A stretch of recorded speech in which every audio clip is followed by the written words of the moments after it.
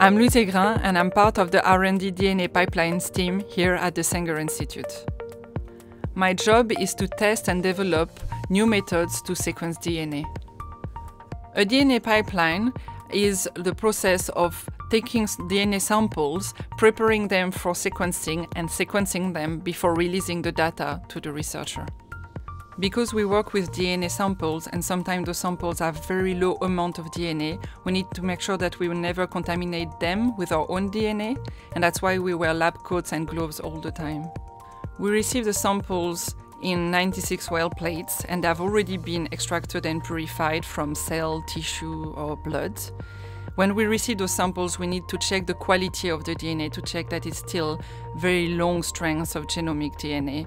That's what we call the quality control or QC step. We really don't want to waste a lot of the sample for quality control. That's why we are using the mosquito robot for that step because it's able to pipette only nanoliters of DNA. These nanoliters of DNA pipetted by the robot are then mixed with a solution containing a fluorescent dye. These molecules of dye glow very, very bright only when they touch DNA. So we can relate the level of fluorescence with the actual concentration of DNA in the sample. Then, when we are sure that our DNA is of good quality and in good amounts, we start the library construction itself. This takes place in our pre-PCR lab on the Bravo robots. The Bravo robot will be able to pipette some solution containing what we call adaptors. Those adaptors are very short fragments of DNA that get attached or ligated to the end of our DNA samples.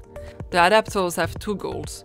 They allow the sample to attach at the surface of the flow cell, and they also contain a tag that will be part of our sequencing data and will allow us to always know which fragments of DNA came from which sample. Because we process such a high number of samples, we need to make sure that we never exchange them or lose them, and that's why we use barcodes on each of our plates.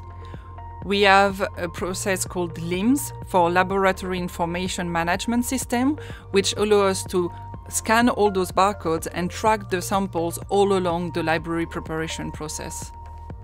After attaching the adapters to our DNA fragment, we take the samples off the robot deck onto a bench. Because we are sharing those benches with a lot of people in the lab, they need to remain very tidy and clean. So we have divided the space with tape and labels so that we know exactly where things are. The samples are now ready for PCR amplification. And during this process, we have to heat the sample to high temperature. To avoid evaporation, we seal the plates with a very tight seal. PCR amplification has to be done in a different lab to avoid cross-contamination. And we pass the sample through a special hatch between those two labs. Each lab has different colors of lab coats to make sure that we are not contaminating samples between the labs. We then take the samples and put them in a PCR machine that is able to amplify the DNA. The DNA samples are now ready for sequencing, and in order to be loaded on the sequencer, we need to remove the seal. Now that's quite a tricky step despite the fact that it looks very simple and no robots can do it. It has to be done by hand to avoid splashes between the samples which would lead to cross-contamination.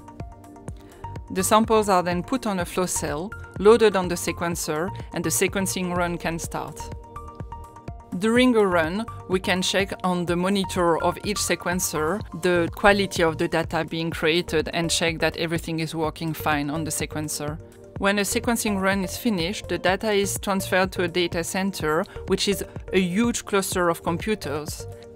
The last stage for our pipelines team is to check that we have produced enough data and of good quality and when that last check is done, the researchers that have initially requested the sequencing are able to access the data in the cluster.